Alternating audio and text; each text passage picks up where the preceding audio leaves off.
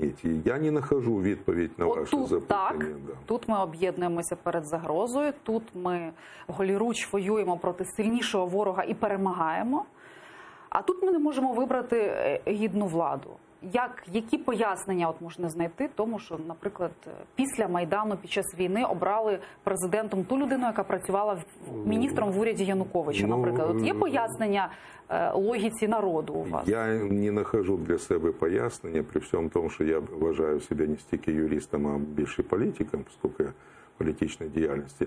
Я не знаю, може е, Семен Глузман, ще один політв'язень, і якраз е, совість нації, я вважаю, що якраз Глузман може бути одним із совістю От. Семен Глузман тепер фільтрує кожне своє слово Да. і намагається зайвий раз не виступати Так після от, може, свого то- конфлікту з Уляною Супрун. Може, ні, він сьогодні досить активно, я читав його пости, може бути, він дав характеристику того, що відбувається, виходячи із його е, фаху.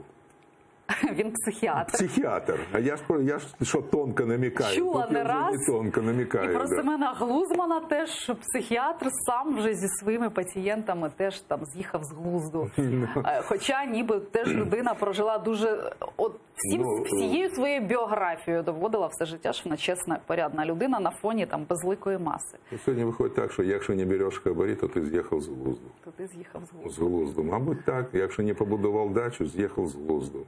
Якщо не купив Мерседес, ехал з глузду. Ну, я не знаю, як пояснити оцю от нову ментальність.